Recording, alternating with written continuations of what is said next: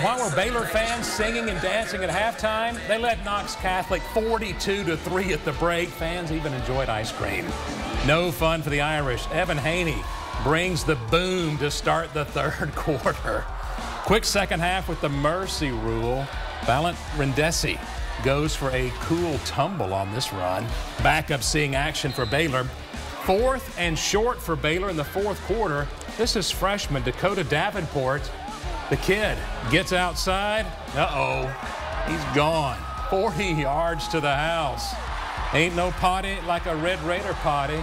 They win this one by a final score of 48 to 9.